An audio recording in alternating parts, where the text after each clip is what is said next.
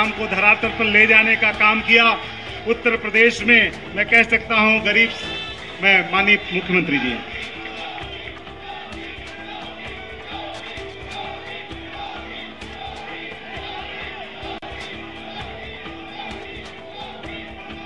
भारत माता की, भारत माता की, भारत माता की वंदे वंदे वंदे। आज के इस कार्यक्रम में मंच पर उपस्थित भारतीय जनता पार्टी के नवनियुक्त प्रदेश अध्यक्ष और प्रदेश सरकार में मेरे वरिष्ठ सहयोगी माननीय चौधरी भूपेंद्र सिंह जी प्रदेश के निवर्तमान अध्यक्ष और प्रदेश सरकार में मेरे वरिष्ठ सहयोगी माननीय श्री स्वतंत्र देव सिंह जी, प्रदेश सरकार के मेरे वरिष्ठतम सहयोगीगण उप मुख्यमंत्री द्वय, श्री केशव प्रसाद मौर्य जी, श्री ब्रजेश पाठक जी प्रदेश के संगठन महामंत्री मान्य श्री धर्मपाल जी, राष्ट्रीय उपाध्यक्ष माननीय श्रीमती रेखा वर्मा जी, पूर्व प्रदेश अध्यक्ष माननीय सांसद डॉक्टर रमापति राम त्रिपाठी जी, केंद्रीय मंत्री और पूर्व प्रदेश अध्यक्ष माननीय डॉक्टर महेंद्र नाथ पांडे जी पूर्व प्रदेश अध्यक्ष और प्रदेश सरकार में हमारे वरिष्ठ सहयोगी, माननीय श्री सूर्य प्रताप शाही जी पूर्व प्रदेश अध्यक्ष और माननीय सांसद डॉक्टर लक्ष्मीकांत वाजपेयी जी, केंद्रीय मंत्री माननीय श्री संजीव बालियान जी, सभी माननीय सांसद प्रदेश सरकार में मेरे सभी सहयोगी मंत्रीगण, पार्टी के सभी पदाधिकारीगण और उपस्थित कार्यकर्ता भाइयों, बहनों, मैं सबसे पहले भारतीय जनता पार्टी के वरिष्ठ कार्यकर्ता, प्रदेश सरकार के वरिष्ठ मंत्री, माननीय श्री भूपेंद्र चौधरी जी को प्रदेश अध्यक्ष नियुक्त होने पर प्रदेश के कोट कोट कार्यकर्ताओं की ओर से हृदय से बधाई देता हूँ और उनका अभिनंदन करता हूँ।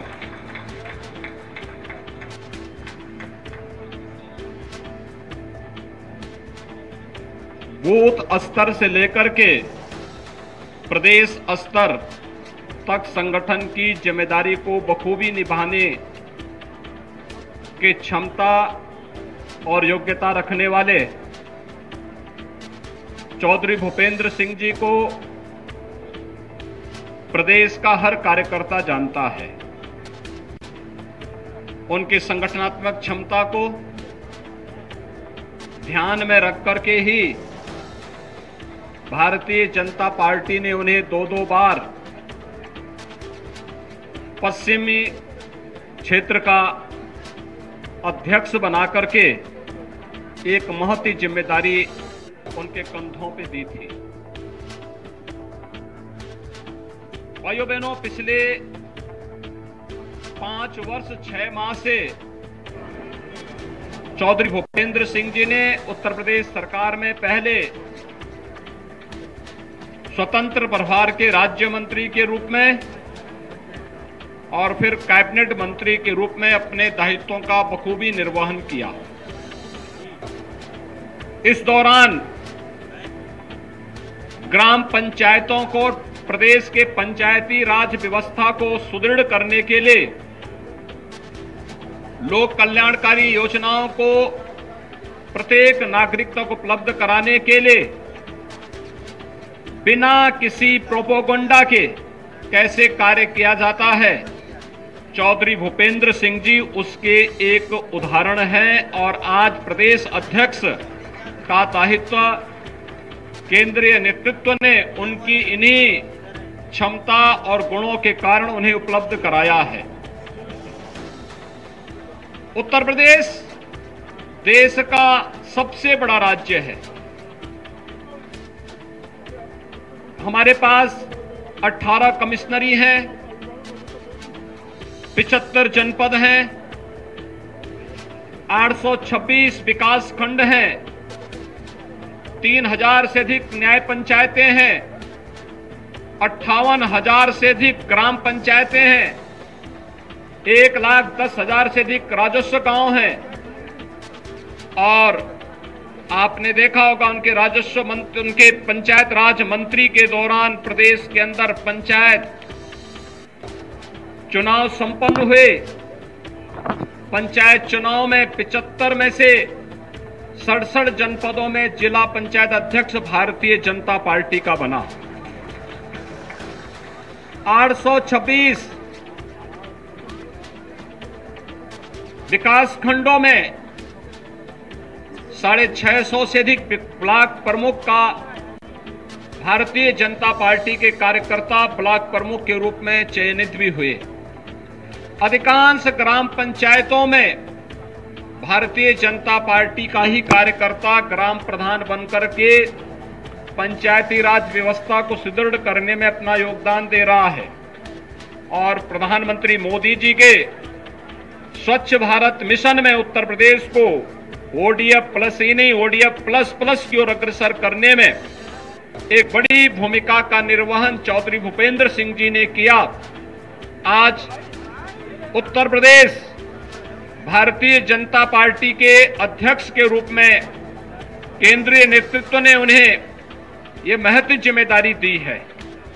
मैं विश्वास के साथ कह सकता हूँ, अपनी संगठनात्मक क्षमता के बल पर चौधरी भूपेंद्र सिंह जी पार्टी के प्रत्येक कार्यकर्ता को साथ में लेकर के मज़बूत संगठनात्मक क्षमता के बल पर केंद्र और राज्य सरकार की योजनाओं को आगे बढ़ाने में, सरकार और संगठन के बीच में बेहतर समन्वय को आगे बढ़ाने में सफल होंगे और आगामी 2024 के लोकसभा चुनाव में भारतीय जनता पार्टी प्रदेश की सभी सीटों पर विजयी प्राप्त करके एक बार फिर से नया रिकॉर्ड बनाने का काम करेगी। भाइयों, बहनों, मैं इस अवसर पर अभिनंदन करता हूँ प्रदेश के नवनियुक्त संगठन महामंत्री श्री धर्मपाल जी के भाई। उन्होंने प्रदेश के अंदर सभी क्षेत्रों में एक लंबे समय तक कार्य किया। अखिल भारतीय विद्यार्थी परिषद के रूप में, के संगठन मंत्री के रूप में अलग अलग क्षेत्रों में अलग अलग प्रांतों में कार्य करते हुए भारतीय जनता पार्टी के संगठन महामंत्री के रूप में झारखंड जैसे प्रदेश में भी उनके पास एक लंबा अनुभव है। आज हमारे केंद्रीय नेतृत्व ने उन्हें उत्तर प्रदेश जैसे राज्य के संगठन महामंत्री का उत्तरदायित्व तो दिया है। आज वे सभी कार्यकर्ताओं का मार्गदर्शन कर रहे हैं। संगठनात्मक रूप से हम अपने मूल्यों अपने सिद्धांतों और आदर्शों का अनुपालन करते हुए भारतीय जनता पार्टी को आदरणीय प्रधानमंत्री जी की मंशा के अनुरूप दुनिया की सबसे बड़ी पार्टी के रूप में स्थापित करने के साथ ही हर व्यक्ति भारतीय जनता पार्टी के मिशन के साथ जुड़े इस लक्ष्य को लेकर के अपने मूल्य और सिद्धांतों को बनाए रखते हुए गरीब कल्याणकारी योजनाएँ समाज के प्रत्येक तबके को अपने साथ जोड़ते हुए आज यहाँ पर उनका मार्गदर्शन कार्यकर्ताओं के लिए अत्यंत महत्वपूर्ण है। मैं इस अवसर पर आज इस सार्वजनिक कार्यक्रम में प्रदेश अध्यक्ष जी के आगमन पर वे स्वयं भी हैं। मैं उनका भी इस अवसर पर हृदय से अभिनंदन करता हूँ। भाइयों बहनों, हम अपने निवर्तमान अध्यक्ष को स्वतंत्र नहीं होने देंगे।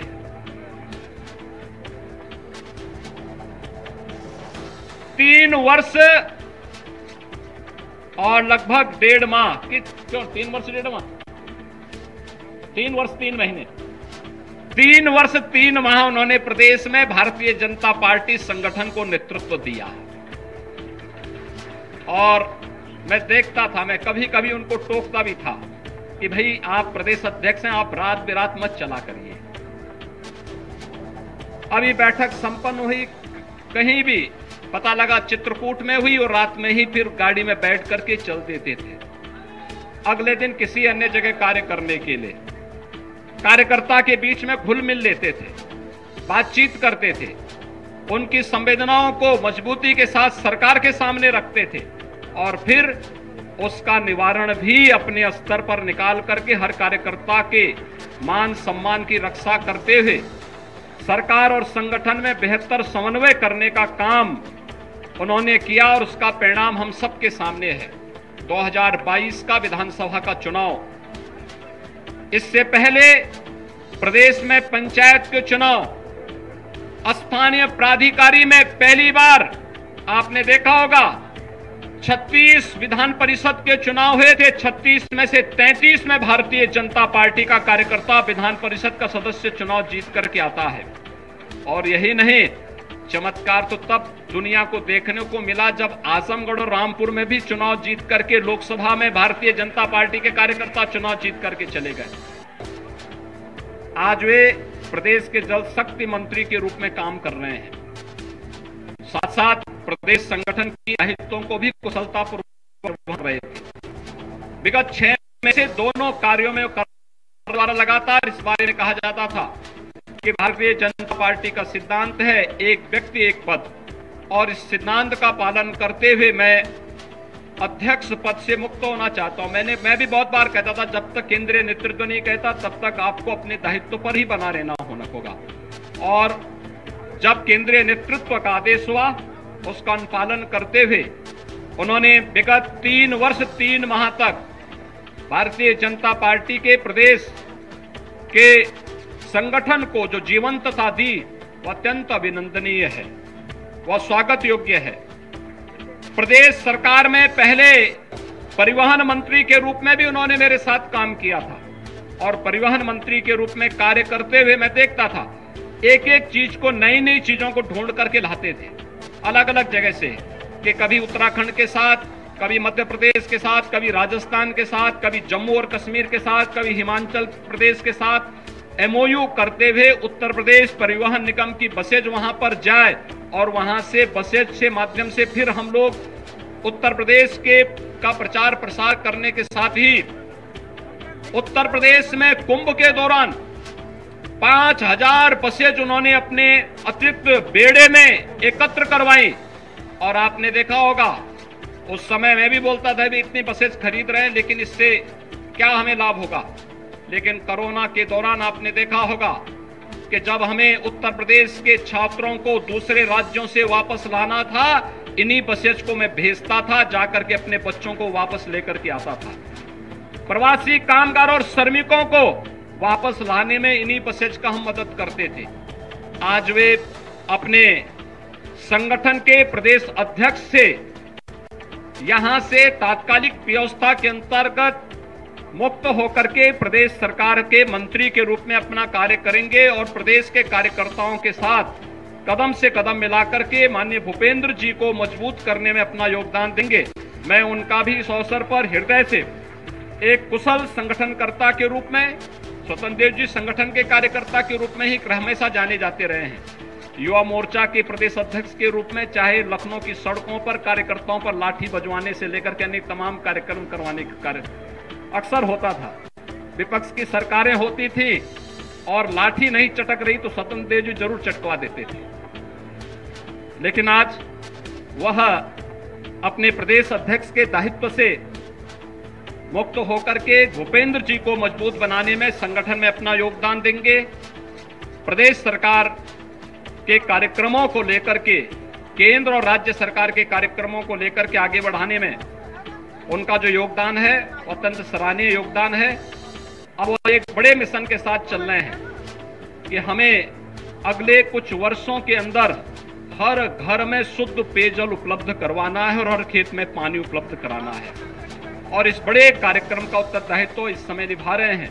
मैं इस अवसर पर उन्हें भी एक अच्छी पारी के लिए हृदय से बधाई देता हूँ और प्रदेश में विधानसभा चुनाव में जो मेहनत और जो परिश्रम कार्यकर्ताओं के साथ उन्होंने की उसका परिणाम है कि आज प्रदेश में भारतीय जनता पार्टी पहली बार,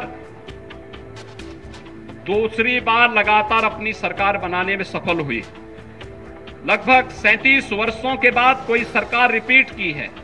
आज भाइयों बहनों मैं एक बार फिर से इस अवसर पर भारतीय जनता पार्टी को नए प्रदेश अध्यक्ष मिलने, नए संगठन महामंत्री मिलने और नई टीम के साथ, हम मजबूती के साथ 2024 के मिशन को लेकर के कार्य करेंगे इस विश्वास के साथ। मैं एक बार फिर से माननीय भूपेंद्र जी को हृदय से बधाई देता हूँ, अपनी शुभकामनाएँ देता हूँ और विश्वास व्यक्त करता हूँ कि सरकार और संगठन मिलकर के प्रदेश की जनाकांक्षाओं की पूर्ति करते हुए, प्रदेश में आदरणीय प्रधानमंत्री जी के विजन को मजबूती के साथ लागू करते हुए, हम उत्तर प्रदेश को पूरी तरह भाजपा में बनाने और सभी सीटों पर भारतीय जनता पार्टी के प्रत्याशियों को विजयी बनाने में सफल होंगे। आप सभी कार्यकर्ता, मैं देख रहा था 12 बजे से पहले ही रेलवे स्टेशन पर पहुँच करके। प्रदेश अध्यक्ष जी के स्वागत के लिए आप सभी वहाँ खड़े रहे। उमस की परवाह के बगैर पूरे रास्ते भर जगह जगह जो स्वागत किया है, वह इस बात को साबित करता है कि भारतीय जनता पार्टी का कार्यकर्ता अपने मूल्यों, अपने आदर्शों और अपने मिशन के लिए सदैव तत्पर होकर के कार्य करता है। आज स्वागत और अभिनंदन का कार्यक्रम इस बात का सबूत है। मैं एक बार फिर से आप सबको भी हृदय से बधाई देता हूँ, अपनी शुभकामनाएँ देता हूँ। धन्यवाद। जय हिंद। मित्रों, मैं आमंत्रित करूँगा प्रदेश अध्यक्ष जी को।